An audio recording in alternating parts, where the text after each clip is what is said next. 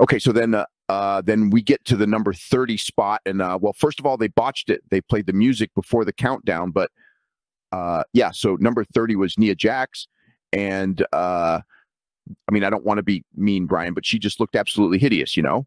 I mean, I just had no idea why Triple H would bring her back. I was watching and I was just thinking to myself, like, how much does this bitch fucking weigh? I guessing she's back to, you know, um, be a big monster heel in the division, but she's just revolting to look at. I mean, for somebody that is part of the uh, historic Samoan dynasty in wrestling, she uh, sure didn't get any of the talent genes, but yeah, overall, she looked absolutely awful.